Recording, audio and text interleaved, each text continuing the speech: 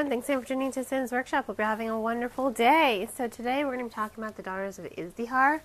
Um, this is a first in a duology, and let me just start by saying I love this book.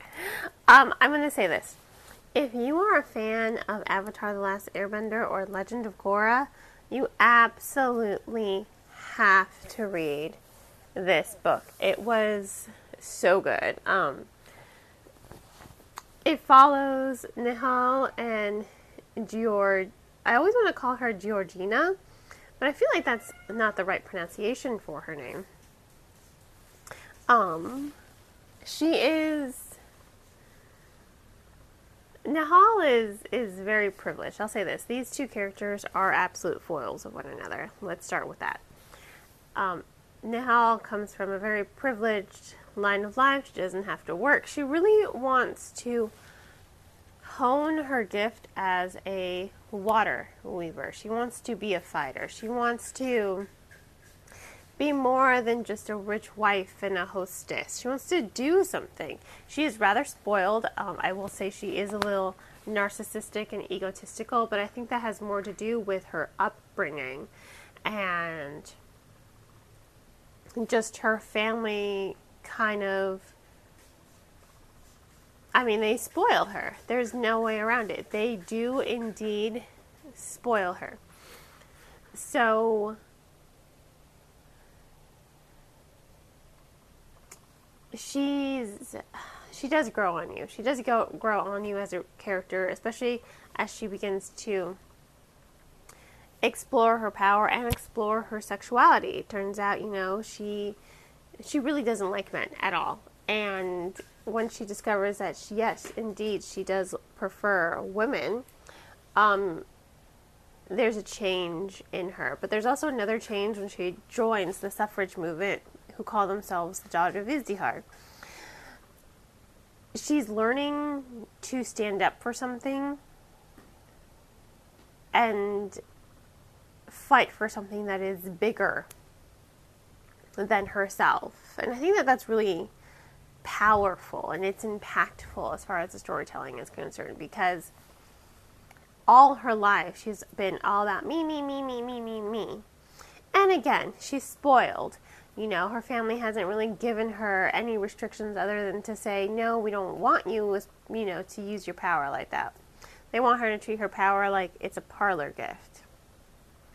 Especially because there is a country they're trying to make peace with who views anyone who was born with any of these elemental powers as kind of I don't want to say abominations because that seems like incorrect. Um, but she wants to do more. And so she grows in that respect. She is a little, she's more aggressive. She's a more aggressive personality, especially compared to Georgina, who um, she is an earth weaver and she's she's more passive. She's kinder, she's gentler. So these are two characters who are perfect foils for one another, and they're brought together through a lot of circumstances in their lives. These are two women who probably would have never crossed each other's paths, but they both want to be a part of the Daughters of Izdihar. And they both want to stand up for something bigger than themselves. They want equality, they want acceptance, they want the chance and choice to be able to make decisions for themselves. Georgina, she just wants to be to live as a woman without judgment. She wants to love um, whom she loves without judgment. She doesn't like the societal restrictions placed on women you know, and I really do enjoy this commentary. I think it is really relevant to today's um, current climate when it comes to equality and women's rights. I think it's valid. And I also love the fantastical element to it. And I love the Avatar the Last Feeling feeling that I got when, you know, earth weavers, water weavers, air weavers, and you know what? Some of them can even be blood weavers. Ooh! that was so good. I was just like, ooh, all kinds of tingles. Like, this is amazing. This is amazing. Uh, I once had a teacher Um, just a nice little segue there. I once had a teacher tell me that genre fiction is not real fiction. And to this day, I mean, I think you've heard me comment on that many times because it still bothers me to this day. I still think it's absolute BS and it's absolutely ridiculous because this is a novel. It's a fantastical novel. It is genre fiction, it is fantasy, but it's dealing with women's rights and equality it has its own interpretation of a suffrage movement. You can see the allusions to current um, country, to current countries and religious status quos. You know, you can see the commentary. It's not like it's hiding it. So I always think that that's absolutely ridiculous that my t- professor, Pamela Painter, by the way, old white woman, um, once said genre fiction is not real fiction. It's just just because you don't read genre fiction doesn't mean you can discredit it.